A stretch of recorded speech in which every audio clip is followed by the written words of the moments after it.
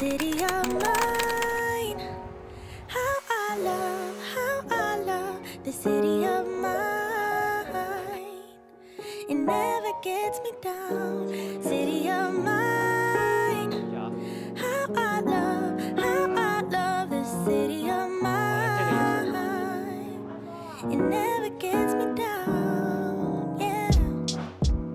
要买冰美式都有吐司是吧？要是美式拿铁都可以。哦，好嘞，谢谢啊。嗯，购购买两件商品。我每次过来拿，然后都会有一个这个东西。呃，我不用吸管，我就在这个。好，谢谢。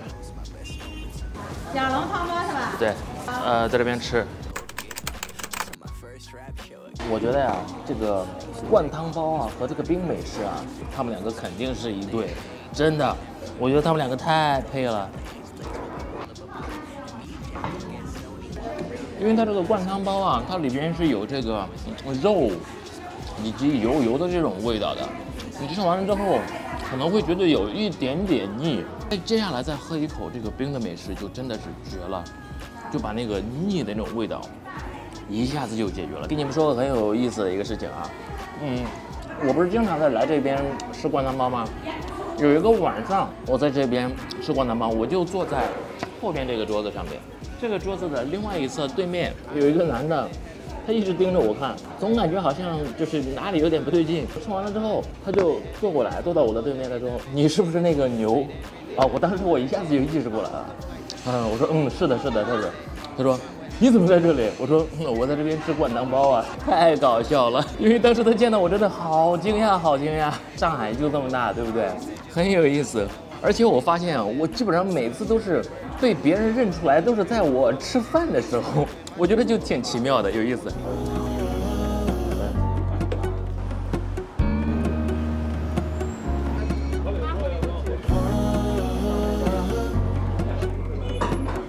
我以为你平时都是两个人，实在是太高产了。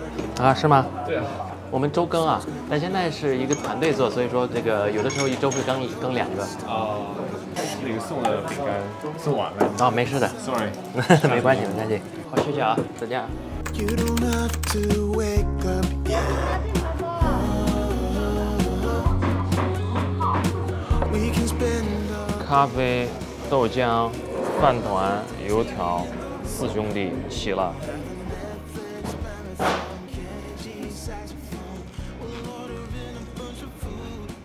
我是发现了，就是饭团和咖啡其实更搭，那油条和豆浆其实是更搭的。瞬间让我想起了一首歌，是什么歌？弹幕打一下。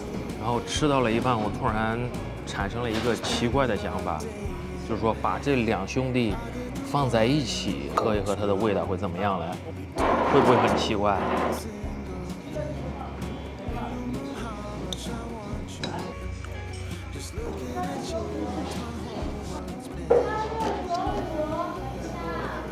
我靠，喝着好爽啊！它又有豆浆的香气，又有咖啡的味道。哎，我觉得这个可倒是可以研究出来一个配方来。我突然意识到，这不就是一个豆奶拿铁吗？豆奶加上黑咖啡，这就是豆奶拿铁。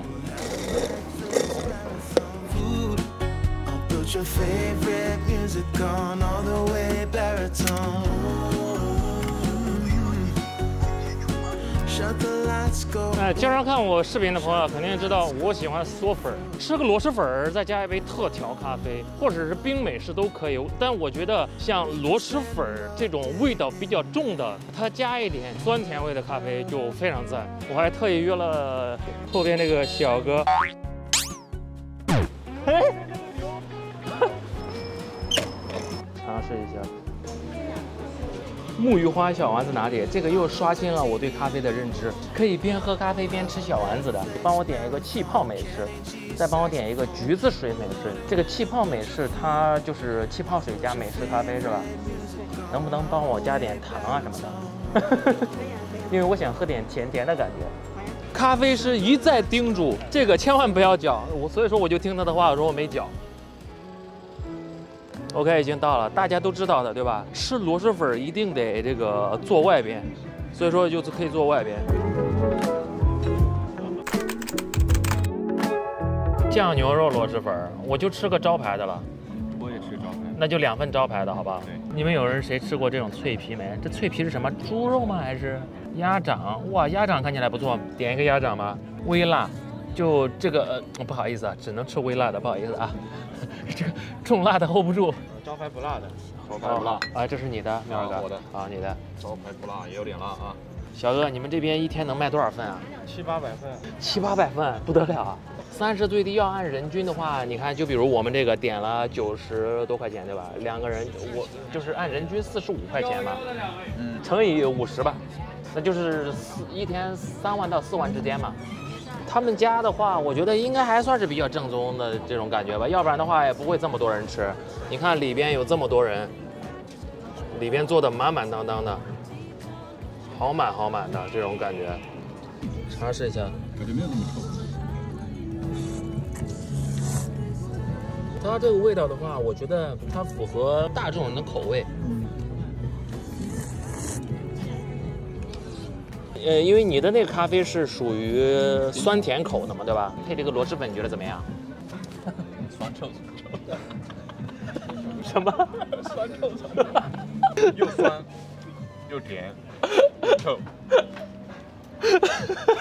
苗儿哥，你这个你你这个描述完之后，对面的这个小姐姐都笑了，听不到声音 能听到，她刚才在笑。你这个不辣吗？对，嗯，你帮我拿个勺子，我尝一下你的这个汤，尝一下。没那感觉了。我操，你去加点辣椒吧，真的，你这个吃着感觉就像是那种清汤米线一样的螺蛳粉啊，真的一定一定得吃辣的螺蛳粉，加这种冰的甜一点的气泡的这种咖啡。再一下吃螺蛳粉呢，它旁边都会放什么饮料嘛？有这个酸梅汤的，然后有的是放的，有的是放水的、可乐的、芬达的。只有我们这个比较奇葩，点了咖啡。已经完了，然后这边也见底了，最后一口喝掉了，好吧？